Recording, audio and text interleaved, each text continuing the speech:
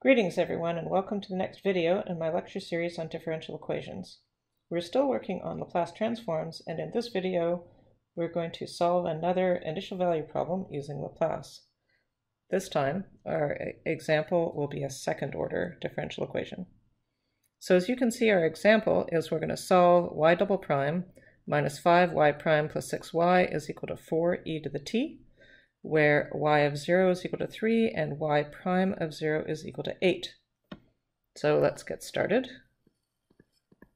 For our answer, we're first going to take the Laplace transform of both sides.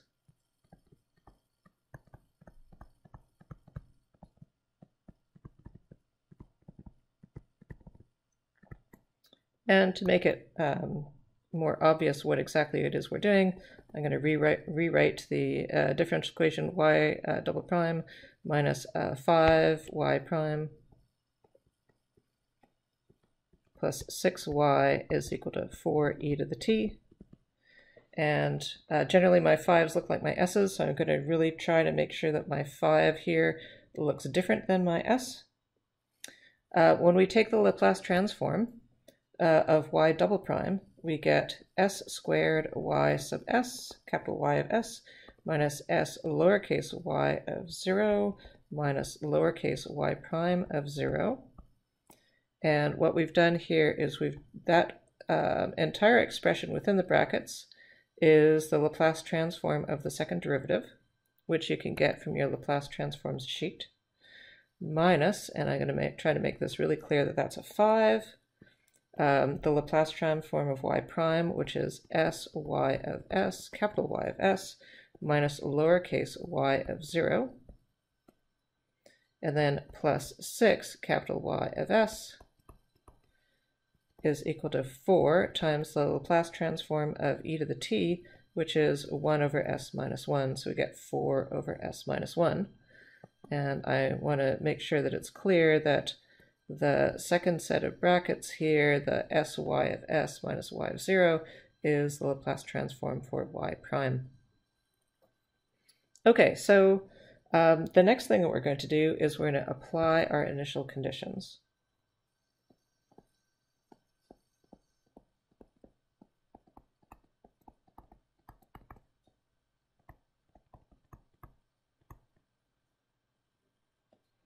Now I'm just going to scroll up for a second and remind you that our initial conditions are that y of 0 is equal to 3 and y prime of 0 is equal to 8.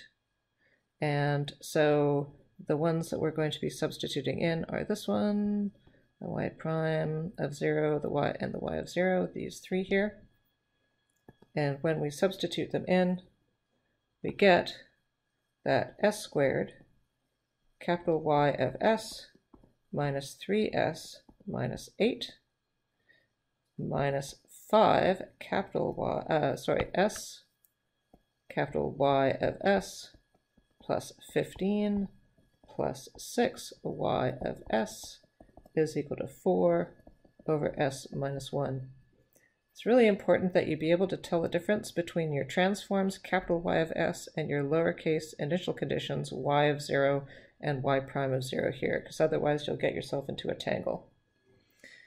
Now, the neat thing is, if you look here, we don't have any derivatives left. All we have are some s's, some y of s's, and some um, uh, coefficients and constant terms. So now we're going to solve for y sub s.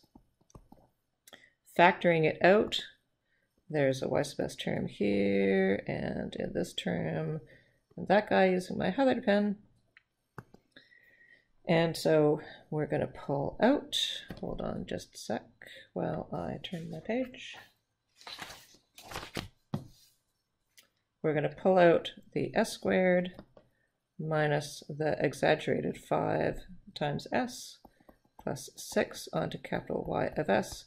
And now we're going to move all the other terms to the other side. We're going to get 3s minus 7 plus 4 over s minus 1. And then y sub s is equal to 3s minus 7 over s squared minus 5s plus 6 plus 4 over s squared minus 5s plus 6 onto s minus 1. Now, this is a case where we're going to need partial fractions, and my recommendation here is to combine into a single term first, or a single fraction first,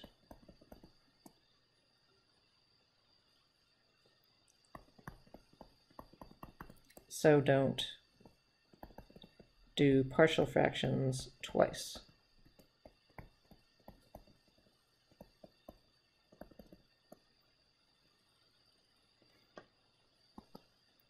So y sub s then is equal to 3s, oops, 3s minus 7 onto s minus 1 plus 4 all over s squared minus 5s plus 6 onto s minus 1.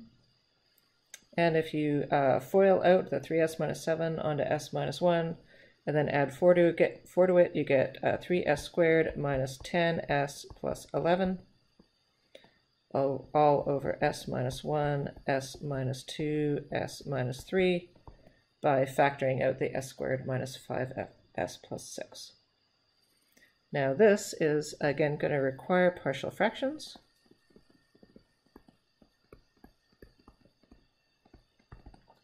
Um, and you've got uh, um, some choices here for how you do this, um, but the common thing is to write out that uh, 3s squared minus 10s plus 11 all over s minus 1, s minus 2, s minus 3 is equal to a over s minus 1 plus b over s minus 2 plus c over s minus 3. So these are all linear factors, and so linear in the bottom, so you only need a constant term on top. Now you could do what we did in our other examples, which is multiply both sides by the common denominator, um, and uh, then substitute in values of s. I'm going to choose to do the uh, cover-up method, which we can use because these are three distinct factors. Uh, you don't have to do it. You can do the other method that uh, I just mentioned. Um, but to do the cover-up method, you're going to say that a is then equal to um, our full fraction as squared minus 10s plus 11 over s minus 1, s minus 2, s minus 3 the cover up method says that you cover up the uh, term on the bottom. So under A, you have an S minus 1, and that's the term we're going to cover up. And then you evaluate it at the value of S that makes that go to 0. So we get that S is equal to 1. And so substituting S equals 1, we get 3 minus 10 plus 11 gives us 4 over um, 1 minus 2, so negative 1 times negative 2, so positive 2, and we get 2 here. Similarly, b is equal to 3s squared minus 10s plus 11 over s minus 1, s minus 2, s minus 3. The term we want to cover up here is the s minus 2 because that's in the denominator of the b term. We want to evaluate it at s equals 2, which is the value that makes that guy go to 0. Putting everything in, we get 3 over negative 1 gives us negative 3. And then for c, we get 3s squared minus 10s plus 11 all over s minus 1, s minus 2, s minus 3. The term we want to cover up is the s minus 3 term evaluating at s is equal to 3 gives us 8 over 2, and we get 4.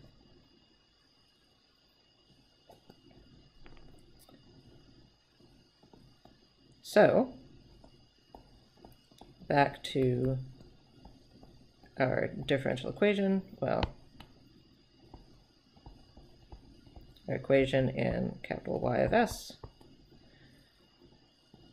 we get that y of s is equal to 2 over s minus 1 minus 3 over s minus 2 plus 4 over s minus 3. And now we're going to take the Laplace uh, inverse Laplace transform of both sides, and we get a lowercase y of t is equal to 2 e to the t minus 3 e to the 2t plus 4 e to the 3t. And that's our answer.